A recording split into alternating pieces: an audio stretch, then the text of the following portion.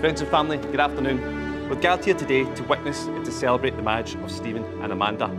On this their special day, chosen to share the love for each other with their most special family and friends. So therefore, on behalf of the happy couple, I wish to thank you all for coming here today from near and far. Stephen and Amanda, really appreciate you could all be here. Good afternoon, everyone. So, with that, with great pleasure, on behalf of my wife and I,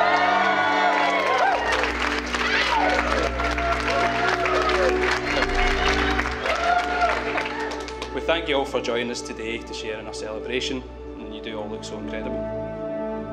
Amanda, I stand in front of you today to ask you to be my wife. And I think, how can I be so lucky to have someone so kind, so caring, and so damn beautiful? Our relationship is truly one where it's all the little things that make it so special.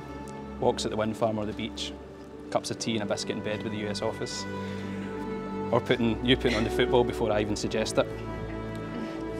I've always found it adorable, all the little things that you find adorable. And the laughs you give me when you make up your own words to things like sirloin steak with that random tea. Thanks, Stephen. and when we go, and when we went to go out walking at the Craig Norms. and my favourite, you don't quite get the difference between fast forward and rewind when watching TV. But the joy and happiness you bring to my life is truly all I'll ever need. And wee Murray, of course. Who, when I see how much love and care you have for the little guy, makes me know how excited I am for the future that awaits and to grow a loving home together. I promise to always be there for you through all that we have ahead, the good times, the struggles, the highs and lows. You deserve the world and I will strive to give you that. I love how you humour me by doing your best to show interest in my interests, like my uh, ramblings on in facts about wonders of the universe and other geeky subjects. and I promise to not complain when you have cold feet and need them warmed up, especially after your 12 hour shifts, long as you change your socks. and I promise to cook all the dinners in the world, as long as you help me with the dishes, or until we can afford a dishwasher and I'll try my best to be as you not not be as you say like a grumpy old man, even when I do become a grumpy old man, because I'll have you as my sweet little wife, with the same dimpled smile when we're 100 that I see in your face right now. I cannot wait to explore the future together and share all my life with you.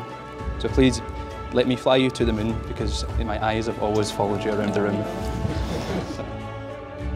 So Stephen and Amanda, you fulfilled the formalities required by custom and law to establish a relationship of marriage.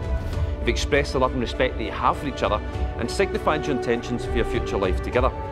And during this time together, remember the earnestness and sincerity of the vows you've just made. And this will help the love that we've all witnessed between you today grow even stronger and is what will make this marriage thrive. So Stephen and Amanda, before your family and friends, now it gives me so much pleasure to pronounce you husband and wife. Stephen, you may kiss your wife.